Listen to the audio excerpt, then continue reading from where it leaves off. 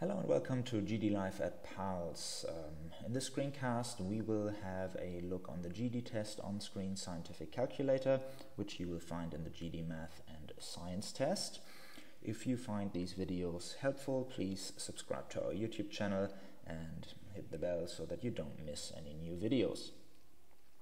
Now um, the on-screen scientific calculator is uh, basically like a real calculator that you are able to access on the computer-based test on screen. So there's going to be a button at the top left in your test.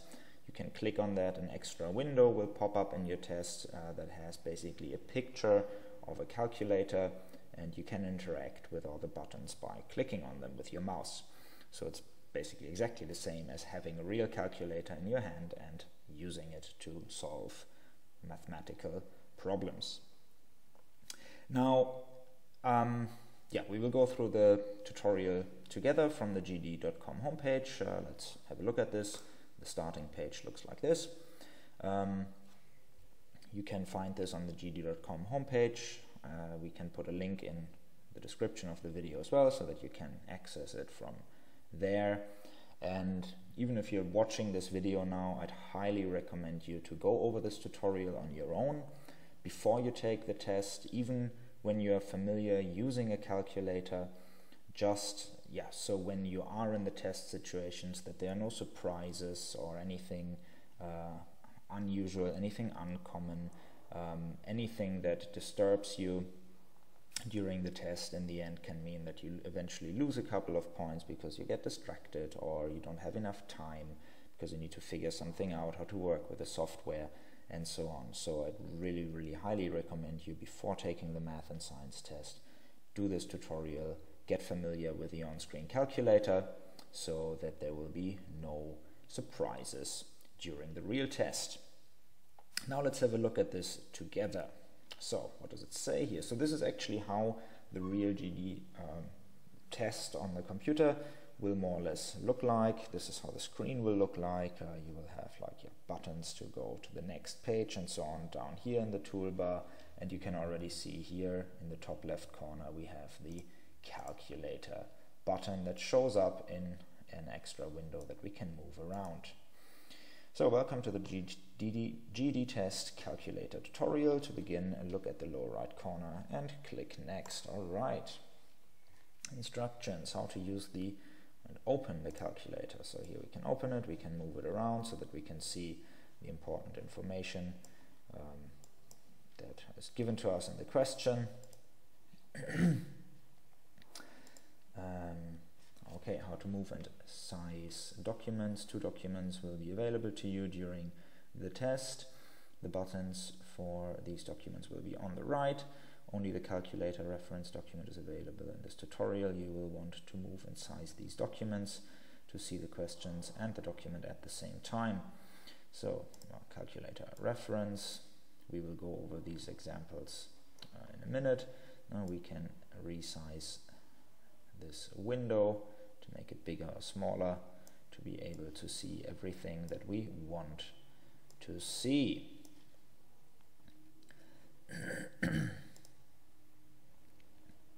basic operations of the calculator. You can turn it on and off. Um, yeah, the second function will be quite important eventually for some questions. The second function turns on the basically the, the second function of the different uh, buttons and every button that has a second function has the yellow letters on top which is the second function of this button. So it's yeah, switching between the different functions of a single button.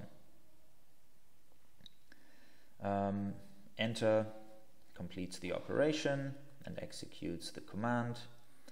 Um, second plus the minus sign answer recalls the most recently calculated result if you by accident cleared it and yeah, the two arrows here toggles the answer between fraction and decimal, exact square root and decimal, and exact pi and decimal formats. And the arrows here on top allows you to move the cursor on screen um, and in operations as necessary. For example, when we work with powers, um, we can navigate or if we work with fractions, we can navigate between top and bottom and go out of the fraction or out of the power operation. Practice with a calculator. So let's get into our first example. So we can open the calculator and do this calculation.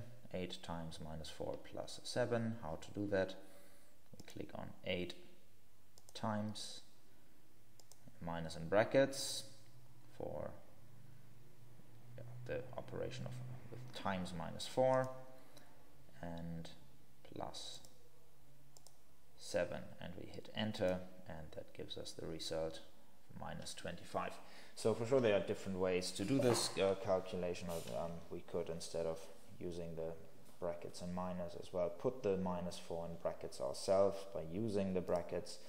Um, the only thing that's yeah it's a bit annoying in this tutorial is that the calculator is not not fully operational so we really can just go through the examples that they provide us and we can't actually play around with a calculator ourselves as we would like to, to solve maybe our own uh, examples and problems. So we really can just we're limited to the examples that they give us here in this uh, practice test. Okay.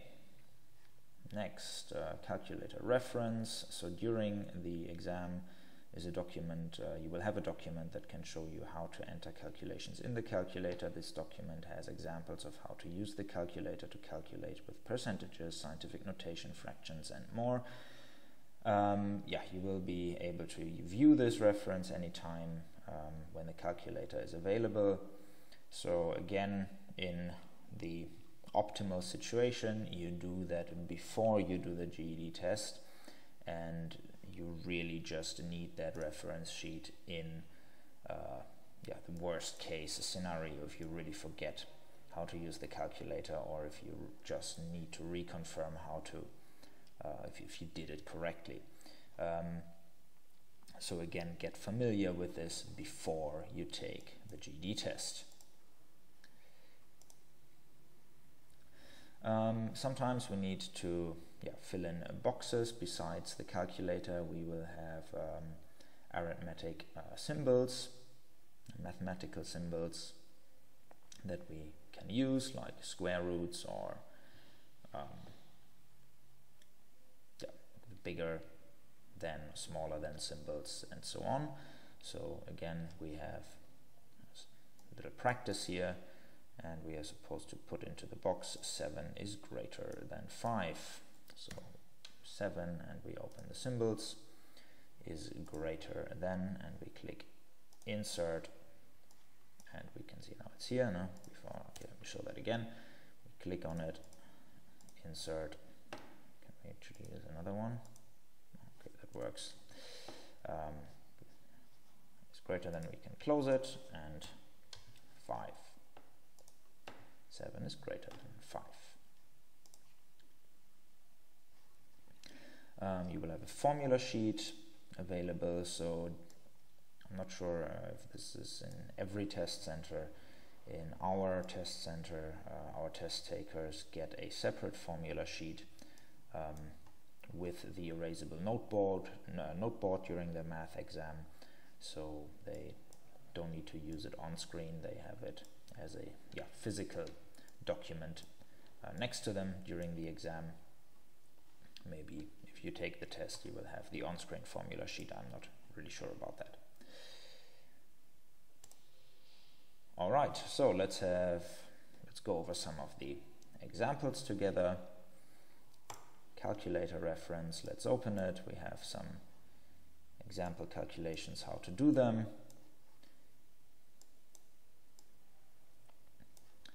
um, yeah, how to do basic arithmetics, percentages, scientific notation, fractions, mixed numbers, powers and roots, and to toggle different keys.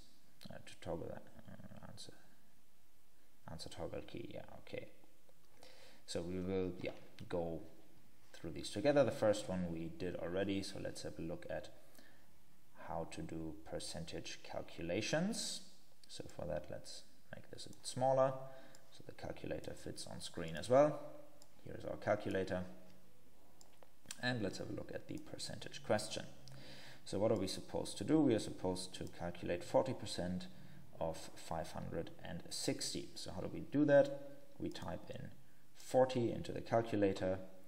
Um, now we need percent. So where do we have percent? We can see on top of the bracket is the percent sign. To access this, we need to press second for the second function and then this and we get the percent and then times 560 and that is 224. Scientific notation, how to do that, so we can clear.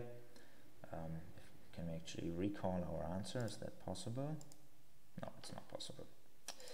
Um, okay, so 7.8 times 10 to the power of 8. So we don't need to use the times button now. We can just use the scientific notation button, which already includes the times as we can see here. So times 10 to the power of, now we are up here and we can put in our number to the power of 8. So since we have finished with the power now, it's just power of 8, not power of 80 or something. Um, we have to click the arrow button to get out of changing the power and back into our normal operation. And the minus 1.5 times 10 1.5 times 10 to the power of 8 and that is equal to this quite big number that is the same answer as we get here. So how to do fractions.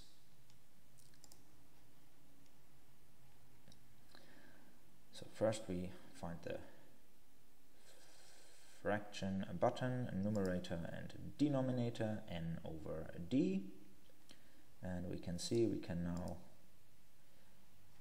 put in the 2 first, and if we want 2 over 9, so we go now, we navigate down into the denominator over 9 and out of the fraction by clicking to the right times and a new fraction 3 over 7 and again we go down to the denominator and out of the fraction. Don't need to actually we can just press enter. And the answer is 2 over 21 if we want this as a decimal we can now click on these two arrows here again sadly it doesn't work uh, only for these specific examples we can't do our own examples but this would give you the decimal answer to that question. Mixed numbers. Okay, next example.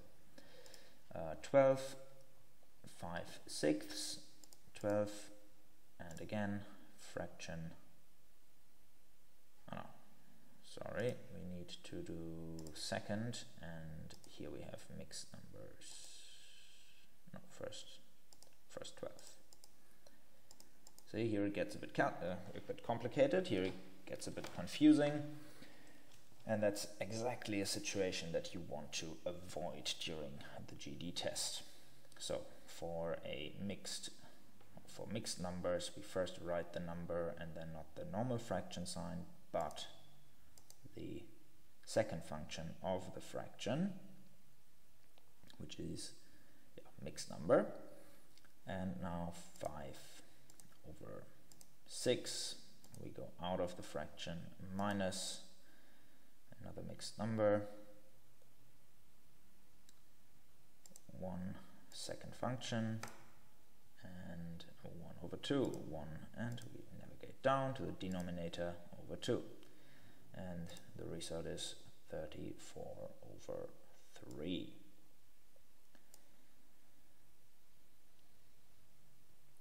To perform calculations with powers and roots, you will use the following keys. x to the power of 2, which is, where is it?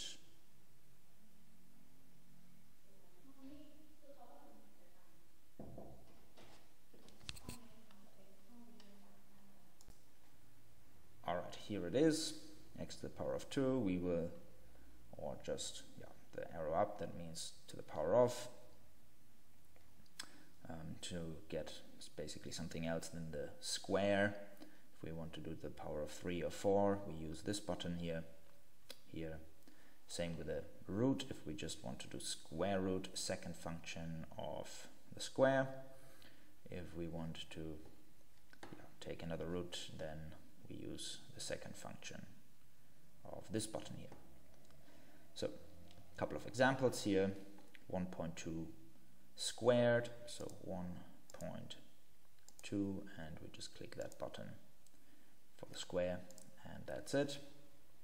1.44. 7 to the power of 4.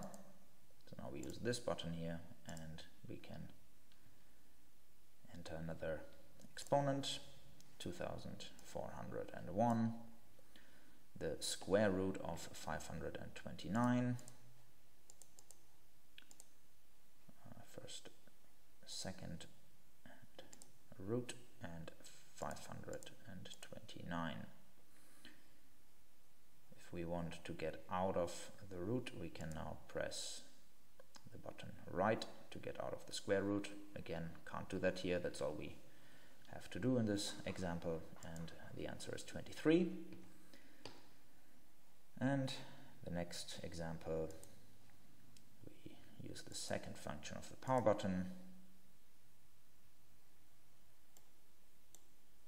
Oh, actually, okay, so again, it's a bit different here. We press the 3 first, and then second function of the power button.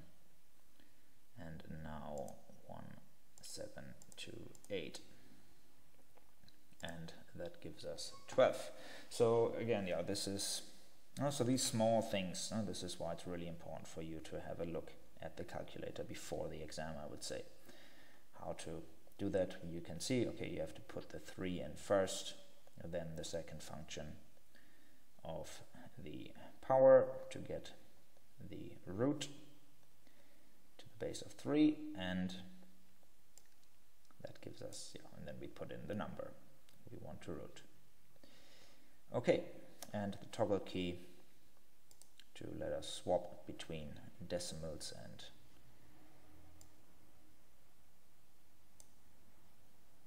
fractions or